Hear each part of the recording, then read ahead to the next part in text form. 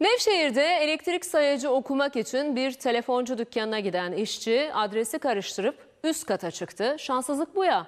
Çıktığı kattaki asma tavan aniden çöktü. İşçi ise havada asılı kaldı. İşte güvenlik kamerasına da yansıyan o anlar efendim.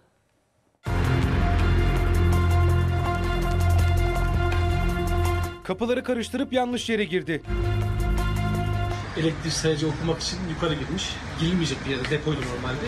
Tavan çökünce havada asılı kaldı. Abim hemen müdahale edip santeriye oturtmuş. Nevşehir'deki telefoncu da her şey olağan akışındaydı. İş yeri sahibi müşteriyle ilgileniyordu. Ben içeri koşarak geldiğimde e, içeride düştüğünü gördük işte. Sessizliği elektrik sayacını okumaya gelen işçi bozdu.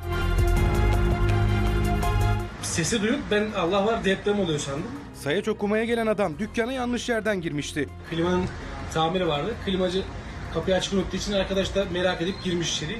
Girdiği yer karanlıktı. Asma tavan ağırlığı kaldıramayınca adam düştü. Arada demirlere sıkışmış. Demirlere sıkıştığından dolayı herhangi bir yara almamış. Neyse ki yaralanmadı. İşçinin ve dükkandakilerin yaşadığı şaşkınlık da güvenlik kameralarına böyle yansıdı.